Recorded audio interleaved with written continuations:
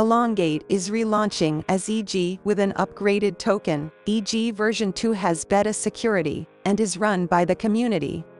If you are using MetaMask, open the browser in the app.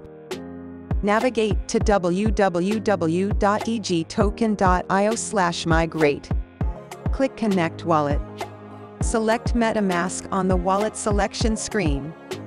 If you are using Trust Wallet, click on Browser, and then click on the search bar. Enter www.egtoken.io slash migrate.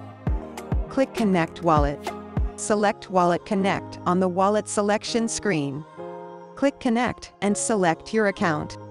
Now that your wallet is connected, it is time to authenticate it. Click 100% in the app and click Enable.